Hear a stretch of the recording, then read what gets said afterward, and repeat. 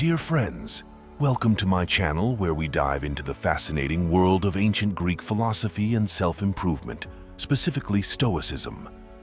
In this video, we will be exploring the principles and teachings of Stoicism, a school of thought that has stood the test of time for over two millennia.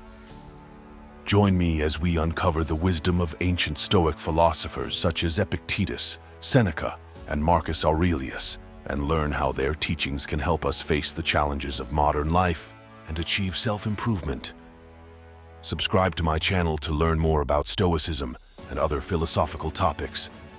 Don't forget to like, comment, and share this video with your friends who are interested in philosophy. Stay tuned for more news about Stoicism and beyond. Let's go on this journey of self-discovery and personal growth together. Enjoy watching. Self-Improvement Practice 1 Examine the conscience and wean ourselves from anger. Advice from Seneca All the senses should be accustomed to endurance. They are naturally patient, if only the soul would stop corrupting them. It must be called to account every day.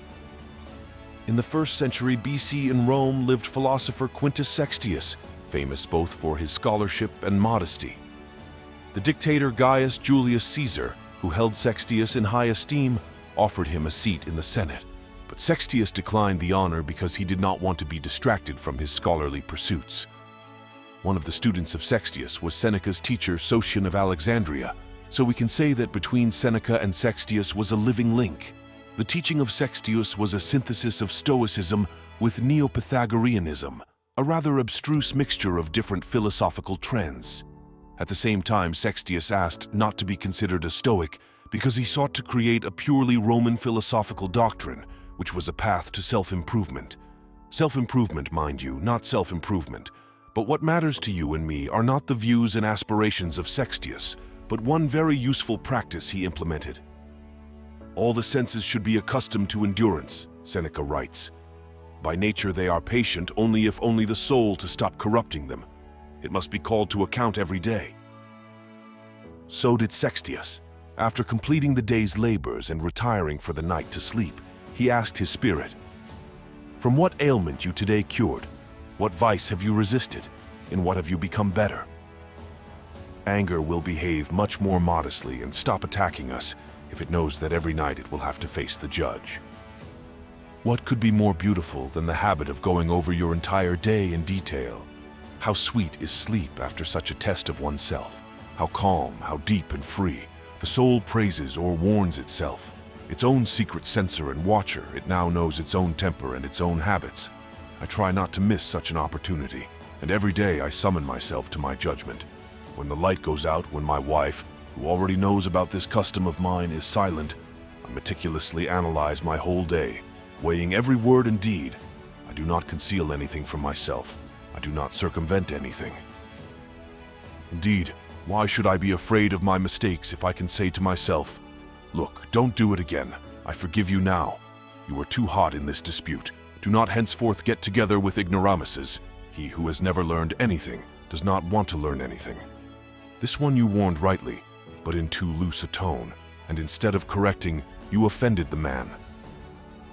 The word examination sounds better than the word judgment, so we will speak of the practice of daily examinations. It would seem that such an advanced sage as Seneca had absolutely no need to examine his conscience every night, for he should have always done the right thing. Yes, he should, but he didn't. We are all human beings, and all of us, including wise men, are prone to make mistakes. But it's not so terrible to be wrong. It's terrible not to realize your mistakes, not to correct them, and not to learn from them. Were you hurt by a silly joke of your friends or some words deliberately said to hurt you? What is the use of getting angry? Maybe it is better to avoid socializing with such people. Someone has offended your friend, for example, did not let him in somewhere he wanted to go, and you are filled with anger out of solidarity. Or maybe it's better not to be angry, but to laugh at that stupid person who sees the meaning of his life in not letting in. You didn't get a place of honor at the dinner party? So what? It is known that it is not the place that colors the person, but the person the place. and in general the position at the table is only a convention which cannot characterize your personality. As the Gospel of Luke says, And behold, there are last who will be first, and there are first who will be last. Accustom your soul in advance to the idea that you will have to endure many things. Seneca advises, Who will wonder that he is cold in winter, that on the ship he is overcome by seasickness, that on the road he shakes? The soul will more courageously endure everything that befalls it if it is prepared for it. You look down on someone because he spoke ill of your talent. Do you really think his every word is law? And should Ennius hate you because his poems do not give you pleasure? Hortensius should declare war on you because you disapproved of his speeches. And Cicero should become your enemy because you made a joke about his poems. Seneca cites the philosopher Diogenes and the politician Marcus Porcius Cato the Younger as examples of ideal behavior. Once, when Diogenes was passionately discussing anger, some impudent young man came up and spat in his face. Diogenes responded to this by calmly saying, I am not angry, though I am not sure that I should not be angry. A spit in the face was considered in ancient Rome the strongest insult, but it didn't refer to an insult by action. For a slap, the offender could, and in most cases would, be punished, while a spit could get away with it with impunity. As for Cato, he was spat in the face by Publius Cornelius Lentulus Sura, whom contemporaries characterized as a desperate man and an immoral schemer during the trial. Cato calmly wiped his face and said, Now, Lentulus, I can testify that those who say that you have no shameless mouth are wrong. Let us give our souls peace, Seneca urges, that peace which is delivered by constant meditation on saving precepts, by the accomplishment of good works, and by the intense concentration of the mind on the pursuit of one thing that is honest. It is enough, if we satisfy our conscience, not to labor for prayer. Let bad fame follow us, only if we actually deserve good fame. Here are four pieces of advice from the Stoic Emperor Marcus Aurelius. Tip 1. When describing objects or phenomena, try to reveal their essence as fully as possible and call all the elements by their proper names. It is necessary to understand what consists of and how long will last what now you are concerned about, and how to treat it. For example, you have a conflict with one of your colleagues. The first thing to do is to try to understand what is at the heart of the conflict, while maintaining maximum objectivity. Do not start with the fact that your colleague is jealous of you or is trying to survive you. Before jumping to such conclusions, you need to discard the objective reasons that do not depend on the opinion of your opponent. Perhaps your actions were detrimental to the common cause, or your contribution to the common cause was much less than what your colleagues did. After analyzing these reasons, ask yourself if your actions could not give your colleague the impression that you are sucking up to him, or otherwise intentionally harming him. Only after dismissing all other possibilities can you think of the simplest one, that your colleague is jealous of you. In this case, try to talk to him heart to heart and if this does not help, then minimize communication. But this is one side of the issue. In addition to analyzing the situation itself, you need to determine your attitude to it. Did you experience anger during the conflict and afterward when you think about it? Anger. Seneca has a separate treatise, On Anger, which was written at the beginning of the philosopher's seven-year Corsican exile, 41 to 42 where he was imprisoned on the rather dubious charge of adultery with Livilla, the younger sister of the recently assassinated Emperor Caligula. It is generally believed that this charge was brought to expel from Rome Livilla herself, who was hated by Messalina, the wife of Caligula's successor Claudius. However, it cannot be ruled out that the new emperor may have wanted to get rid of Seneca, a very popular senator. One way or another, Seneca was offended, not excluded that unfairly. The treatise on anger is written in the form of Seneca's exhortations to his older brother Novatus, but it can be assumed that Seneca was actually addressing himself. A modern reader, especially if he has been to Corsica, may think that exile to this picturesque place is not so bad in itself, but we must take into account that in ancient Rome, Corsica was considered an uncivilized part of the world we can conditionally compare the exile to Corsica with the exile to Sakhalin in the Russian Empire. At the very beginning of the treatise, Seneca explains what makes the feeling of anger so dangerous that it deserves such a detailed treatment. His explanations have not lost their relevance to the present day, for human nature has not changed a bit in two millennia and is unlikely to ever change. We should fear anger more than all other feelings that excite our souls as the most disgusting and the most indomitable, writes Seneca. Indeed, the rest of our feelings, although at times are calm and peaceful, but anger, it is always excitement, irritation, explosion, furious, inhuman thirst for weapons, blood, execution. Anger does not care what will happen to himself, only to hurt another. He climbs right into the fray, burning desire to revenge at all costs, even at the cost of the life of the Avenger. That is why some of the wise men have called it Engera short-term insanity. Furthermore, anger cannot be hidden. Along with lust, gluttony, greed, sloth, envy, and pride, anger is among the seven deadly sins in Christianity.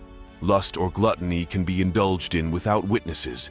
Greed, sloth, envy, and pride can be avoided, but anger cannot be hidden.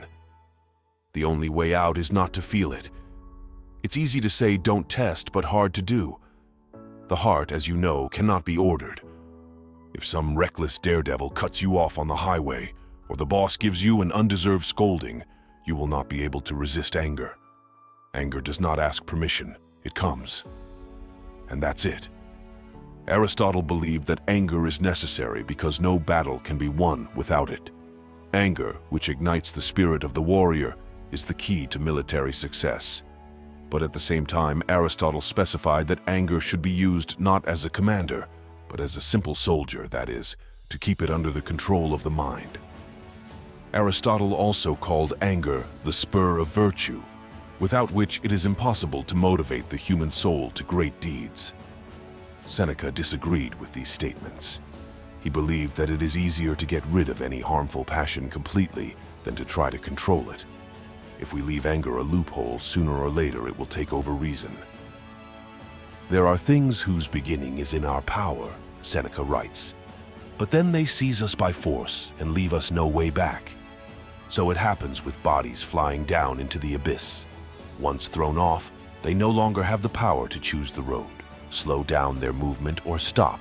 The rapid and irreversible fall as if cut off from them any determination or remorse, and they can no longer not reach the end of the path, which could not have started. The same happens to our soul when it throws itself headlong into anger, love, or other similar feelings. It is no longer able to stop. Its own weight drags it down and pulls to the bottom of the always downward-looking nature of vice. And is it even necessary to fuel the mind with anger? If the mind is stronger than anger, it will do just fine without such a helper. Any warrior fights for certain values that reason allows him to comprehend. Realizing these values, understanding what you are fighting for, serves as the best and only true motivation for victory. Artificially raising morale can also be achieved through intoxication, but is such a practice useful? Definitely not, because intoxication, like anger, makes people not only more belligerent, but also more vulnerable. Anger makes more courageous only someone who, without anger, did not know what courage was at all, Seneca believes. Thus it serves not as a reinforcement of virtue, but as a substitute for it. The ancient Greek philosopher Theophrastus, who was revered on a par with Aristotle, argued that a good man cannot help but be angry with the wicked, this assertion is very dangerous because it elevates anger to a virtue. The Stoics believed that the nature of bad deeds lies in ignorance, in the inability to separate the good from the bad. If a man, not knowing the road, gets lost among the plowed field, it is better to lead him to the right path than to drive him out of the field with a stick, says Seneca, polemizing with Theophrastus. Reason is objective, anger is not. Reason makes decisions on the basis of logic, while anger pushes us to certain actions under the influence of emotion. Whichever way you look at it, anger will look harmful, agree that it is not included in the list of mortal sins for no good reason. Apart from harm, there is no benefit from anger. So is there any point in anger? Let's be pragmatists, for whom usefulness is at the top of the list. What good does anger do? Can it undo what caused it? Never. What happened has already happened. There's no restart in real life. This isn't a computer game. You can mitigate it, that's all. So is it worth it to be angry? To make yourself look ridiculous? To lose some or all of your self-control and to upset your health? Anger can make your blood pressure skyrocket, your heart go off the normal rhythm, your gastrointestinal tract can get upset, and generally a lot of bad things can happen. Parting with anger begins with the realization of its uselessness and harmfulness. It is an unnecessary emotion, so why do you need it? Everyone probably realizes this, but nevertheless they get angry. A paradox? There's no paradox, it's just that the common words anger is useless or anger is harmful are poor motivators. In order to feel the essence of the problem with every fiber of your soul, you need to learn from concrete examples from your own life, sometimes diluting them with examples from the lives of others. You were cut off on the road, and you were furious about it. You desperately honked at the daredevil, who had long ago disappeared somewhere in the distance, and shouted various bad words in your heart. The daredevil did not care about your reaction, but you could lose control of your car in such a state and say, drive into the oncoming lane, and become a participant in a head-on collision. And so it was not good, but it would have been much worse. You are no longer alive. It is possible that, in company with you, killed other people, and the blame for all the anger that seized you. When you were angry with your boss who unfairly accused you of something, you said a lot of unnecessary things to him, so much so that you ruined your relationship with him forever. Now you have to quit and look for another job. Let's say you were the head of purchasing in a large retail chain. You try to get a similar position, but you fail because potential employers inquire about you from your boss, who doesn't tell them anything good. Your bar gets lower and lower, and eventually you get a job as a cashier in a supermarket, trying to console yourself with the fact that now you will work close to home. Faint consolation for a colonel who's been demoted to private, isn't it? Would anyone want to strike an enemy with such force that the whole arm is buried in the wound and cannot be pulled back out? Seneca asks. But anger is just such a weapon. It cannot be pulled out. We choose the weapon we are comfortable with. We look for a light and handy sword. Will we not avoid that heavy, burdensome, clumsy weapon of the soul, the impulse of anger? During the examination of conscience at the end of the past day, start with the situations in which you experienced anger. Analyze what happened, asking yourself, did anger help me? The answer will invariably be no, but you should nevertheless ask yourself this question every time. Try to look at yourself in anger from the outside. You looked ridiculous and stupid, didn't you? And then take stock of the damage that anger has done to you. You can summarize the results on paper instead of in your mind. It's more visual, and you can reread your notes later, comparing the past with the present. In the end, evaluate your anger on a five-point scale, where one corresponds to the absence of anger or a weak feeling of irritation, which lasts for a few moments and passes without your participation. 2. Anger, which you manage to curb without bringing the matter to external manifestations. 3. Anger, which manifested itself to a small degree. 4. Expressed anger while maintaining self-control. And 5. Uncontrolled, violent anger, a kind of storm of local scale it is very useful to have a mirror at hand in which you, during a fit of anger, you can see yourself in all its unsightly glory. Evaluating their actions and the degree of their emotions, you need to be extremely objective because lying to yourself is stupid and harmful. If you will be consistent and persistent in the fight against their shortcomings, then sooner or later you will have a shoal of solid one. That means you've managed to say to your anger, Goodbye, I wish you no more. However, you should realize that no positive results, even the most wonderful ones, do not cancel the need for a daily examination of conscience. As soon as you stop working on yourself and arrange your self-debriefings, you immediately begin to degrade. Remember this. They say that somewhere in Japan in special magic rooms and special rooms, are not that mannequins or stuffed animals representing the heads of the company, and next to lie sticks. If the boss has offended a subordinate, he hurries to the magic room and takes out his anger on the mannequin, shaking him with a stick. It is believed that the benefit of this is threefold. First, the angry employee unleashes his anger, and this is supposedly healthier than holding back negative emotions. Secondly, physical exercise strengthens the body, and you can't argue with that. Thirdly, by visiting the magic room, any manager can get a true idea of how his subordinates treat him. If the mannequin is intact and there is not a single scratch on it, it means that its prototype, like himself, enjoys universal love and respect. But if the mannequin looks as if it has been under the wheels of a truck and there are fragments of sticks around it, then the manager needs to urgently change the line of behavior until one of the offended people decides to settle accounts with him personally and not with his artistic image. There can be no objections to the second and third points. That's just the way it is.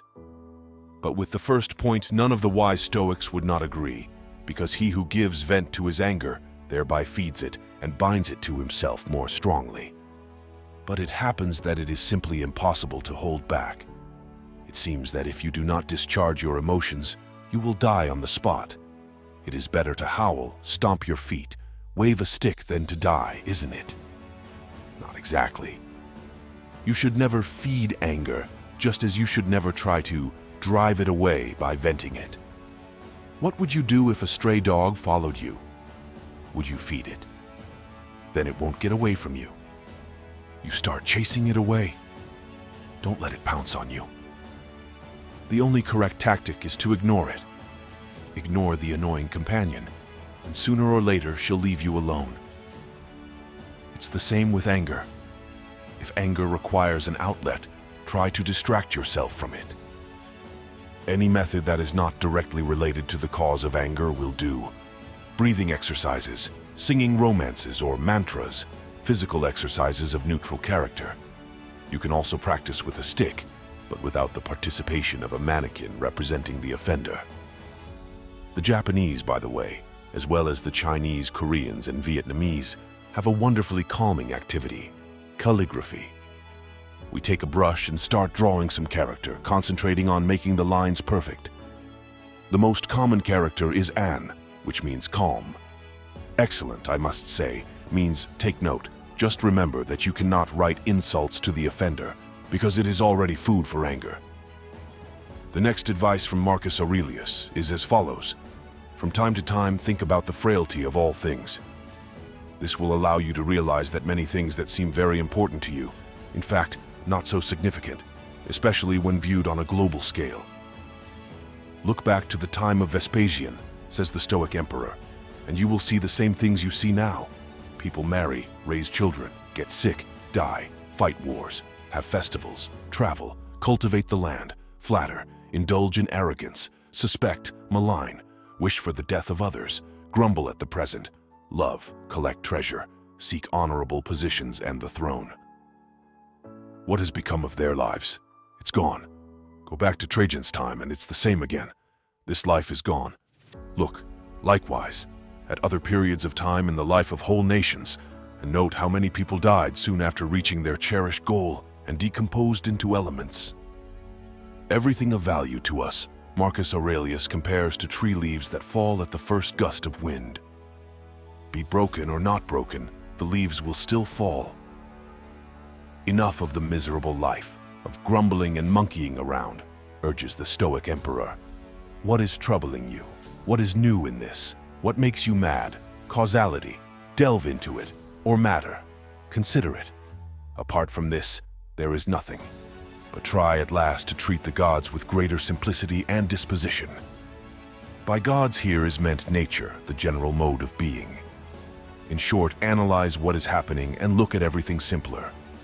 By the way, we would like to note that Marcus Aurelius Antoninus was among the so-called five good emperors of the Antonine dynasty, whose reign, 96 to 180 years, was characterized by stability and humanism.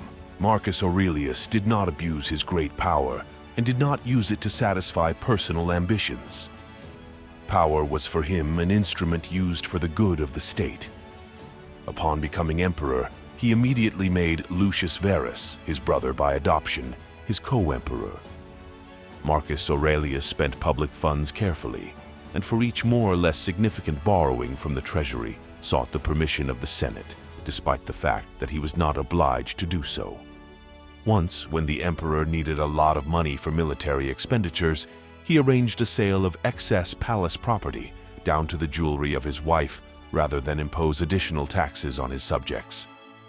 An ideal ruler, I wish more of them. Tip 3. You need to be right, not corrected. In other words, one should strive to commit as few bad deeds as possible. Examination of conscience is conducted not for the sake of repentance, but to prevent similar mistakes in the future. He who draws conclusions but does not take them into account does not develop, but stands still. No, not standing still, but degenerating. Repentance is not quoted by the Stoics. In fact, it is a harmful experience. What does the penitent do? Admits his guilt and asks for forgiveness. But what changes if you say, even a thousand times, I am guilty, I am sorry. What is important for personal development is not the admission of guilt, but the realization that you have done wrong, the identification of the reasons that led to such an act, and the taking of measures to prevent such a thing from happening again. The principle, if you do not sin, you will not repent. If you do not repent, you will not be saved. Does not suit the Stoics. In addition, the feeling of guilt from the point of view of Stoicism is harmful because it generates anxiety. It would seem that the Stoics whose strictness to themselves in every way welcomed, should feel a constant sense of guilt, but this is incorrect. The stricter a person treats himself, the fewer bad deeds he commits, the less often he is visited by guilt. A noble husband expresses remorse not in words but in deeds, the Chinese say. But deeds can also be expressed in words, can't they? What is meant is that merely stating remorse cannot undo what has been done, something must be done. A simple example. A person had a quarrel with a friend and realized that what he did was wrong. In order to restore good relations or at least smooth out the unpleasant residue of what happened, it is not enough to say, I'm sorry. It is also necessary to show that the accusations thrown in the heart were unfair. I was wrong when I accused you of constantly interfering in my affairs. You're my friend, you're worried about me, and you're trying to help me. From now on, I will not react to your advice in this way, but will listen to it calmly and take it into consideration. Tip 4 is that the other person's misdeeds should be left to him or her. One might put it another way, leave other people's misconceptions to stay where they occurred. However, by calling for evaluating only oneself and not others, Stoicism allows for the impact on one's neighbor in a benevolent way. If someone is mistaken, writes Marcus Aurelius, then enlighten him by remaining benevolent and pointing out his error. If you cannot do this, blame yourself or blame no one. Do you know what the most valuable thing about the blame only yourself rule is? As soon as we stop blaming those around us, they immediately stop blaming us. That's the magic of it. The next practice of self-improvement, the path to fatalism. Advice from Seneca. What does a good man do? Surrenders himself to the will of fate it is a great comfort to know that you are being dragged along with the whole universe. We do not know what orders our life and death. Advice from Marcus Aurelius. The goal of life should be approached pure, calm, with a light heart, and with uncomplaining submission to one's fate.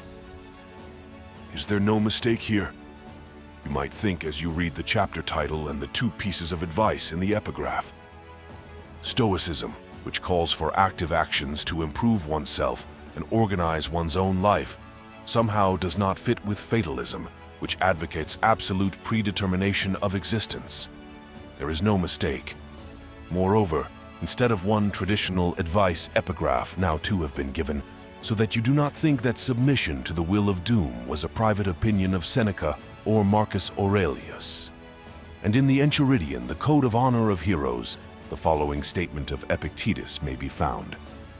Remember that you are an actor in a play which is put on by its director. If he wishes to make it short, you are the actor of a short drama. and if he wishes to make it long, you are the actor of a long drama. If he wants you to play the role of a beggar, play it well, as well as the role of a lame, boss, plebeian. Your business is to fulfill well the role given to you, and choose it for you is free to another. It is appropriate to recall that, as a slave, Epictetus was not at all unhappy with his fate and served his master with all diligence. It is unclear only what exactly prompted. The master of Epictetus once beat him so badly that the case ended with a broken leg. Before we begin to deal with the paradox of Stoic fatalism, let us familiarize ourselves with a passage from the Mishnah, the first ever written compilation of the religious precepts of Orthodox Judaism. The Mishnah states that everything is predetermined, but freedom is given. How is this to be understood? Roughly as follows.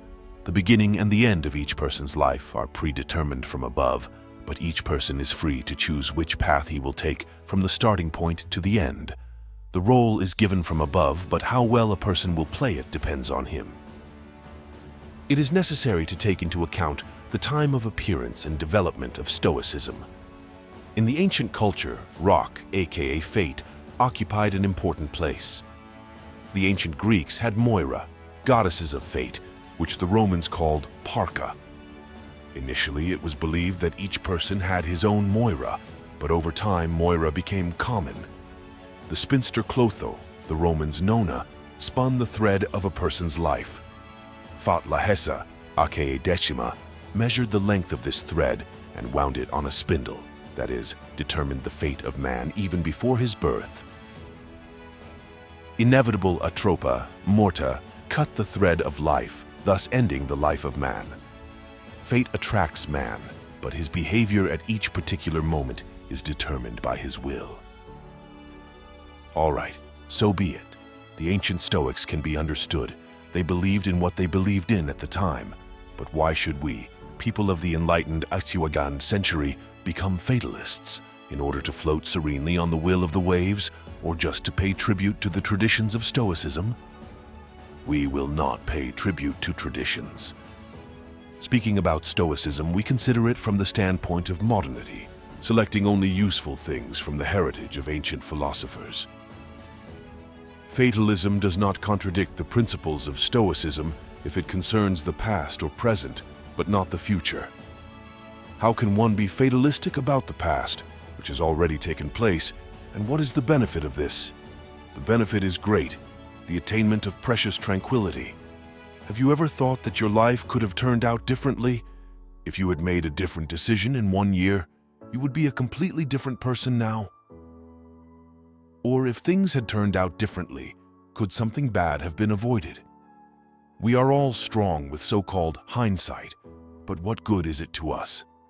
Even if you imagine a thousand alternative developments, you still can't change anything. The past must be accepted fatalistically. What happened is what happened, period. The same can be said about the present. We can try to influence future events, but we cannot change what is happening to us at this particular moment, i.e., now. The conditional Lahesa has already measured the length of the thread and wound it on her fateful spindle. And we all understand it perfectly well, but nevertheless, from time to time, we start to build in our imagination constructions under the general name, everything could have been wrong. Maybe at some point such thoughts and give you pleasure, but sooner or later, you will have to return to reality. And then your short-term positive emotions will be replaced by persistent negative, because in fact everything is not as you imagined. Is it worth it to organize such emotional swings? Definitely not. Think about the future, make plans, but leave the past alone along with the present, which in a moment will be the past. Chase away thoughts that things could have turned out differently, or rather, try to distract yourself from them through some kind of activity or thought exercise. People usually do not model the past in the worst versions. They always imagine the best. That is, they waste their souls. Speaking of which, worsening the past is a form of negative visualization. Imagining that your life could have turned out worse you begin to appreciate what you have more. A fatalistic attitude toward the past and present is one facet of the universal stoicism that recommends not worrying about those things beyond our control. So now we should never think about the past at all. Let's not throw the baby out with the dirty water. That is, let's not be too categorical, or we'll get to the point where we declare history a harmful pseudoscience. It is possible and necessary to think about the past in order to analyze the events that have happened, in order to learn some lessons from them, and not to repeat the mistakes made, as well as within the practice of negative visualization. Such a reference to the past will be certainly useful. Here is an example for clarity. Suppose that four years ago you entered the philological faculty of a university, studied for a bachelor's degree, but suddenly realized that all this humanitarian linguistics is not your thing.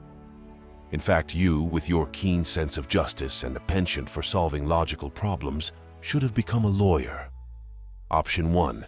You obediently swim along the chosen course, get a school teacher of language and literature, but almost every day you think about how wonderful your life could have been if at one time you would have gone to law school.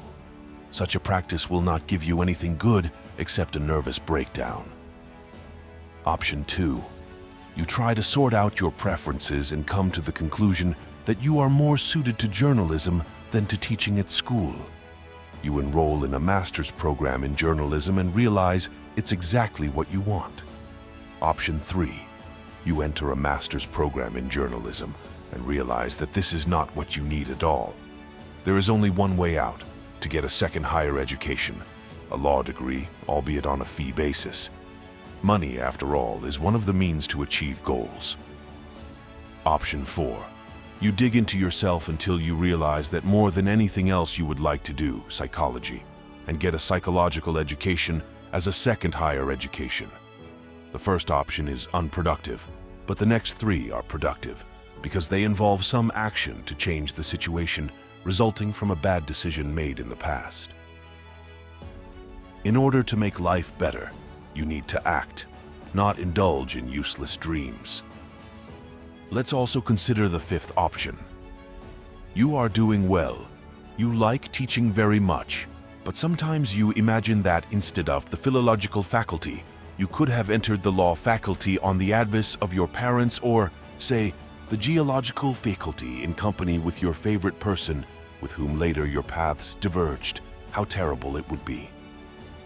Back in reality, you will exclaim after Eduard Asadov, Cherish happiness, cherish it, notice it, rejoice, take it, don't waste time. There's nothing to it, rejoice in this, in him. To summarize, Fatalism towards the past and the present, which is about to become the past, is certainly useful because it saves us from unnecessary anxiety. That's the first thing. Referring to the past is useful for analyzing situations and forming conclusions, as well as in the practice of negative visualization. What you should definitely not do is positive visualization. After drawing rainbow pictures in one's imagination, one returns to a less rosy reality and feels discomfort as a result. Remember also that everyone lives only the present, a tiny moment. Everything else is either already lived or covered by the unknown, says Marcus Aurelius. Living in the present, one must think about the future and learn from the past. This connection of the present with the past and the future is harmonious. The question arises, does not Stoicism dispose to unpretentiousness? Does it not impoverish the life of man, accustoming him to be content with little? Is not hidden, despite all the assurances, under the shell of Stoicism asceticism? Let us make it clear one last time, and we will not return to this topic again. Asceticism demands to be satisfied with the minimum. Give up everything you can give up, and then you are an ascetic. Stoicism teaches to be content with what you have, however small, but does not require any artificial limitations. If there is a desire and opportunity to live in luxury, then live in your pleasure, but remember that everything is transient, and sometimes arrange yourself unloading days in a modest dwelling with meager furnishings and simple food. And remember, of course, that happiness is not in luxury, although it gives certain pleasures. Take, for example, the story of the sale of the palace property of Marcus Aurelius. If he had been an ascetic, he would have had nothing to sell off in his time of need. But he was not an ascetic, but a stoic, who, if necessary, could calmly give up various superfluous things. Besides, He was a model of Stoic virtue. Before taxing his subjects with new taxes, he taxed himself. It can be assumed that Epictetus's demonstrative poverty had a pedagogical significance. He seemed to say to his students, Look how little a wise man needs in order to be happy. Imagine an ascetic and a stoic eating together. Both sit on the floor for lack of furniture and eat stale bread, drinking water. But at the same time, the ascetic may not feel pleasure from eating, but only feel proud of his ascetic zeal. That's how right I am. I do the bare minimum. The Stoic will eat with pleasure, and from time to time think about the fact that he could have neither this wonderful bread crunching on his teeth, nor this delicious water, nor such a pleasant companion. And if someone passing by thinks of treating bread eaters with fruit or, say, sausage, the Stoic will gladly accept the treat, while the ascetic will refuse it, if, of course, he is a real ascetic. The ascetic knows how to make do with little and does not strive for more. A Stoic knows how to make do with little, but does not refuse more. A Stoic can enjoy luxury, but he is not attached to it. Asceticism is the art of living more modestly than the humble, and Stoicism is the art of living right.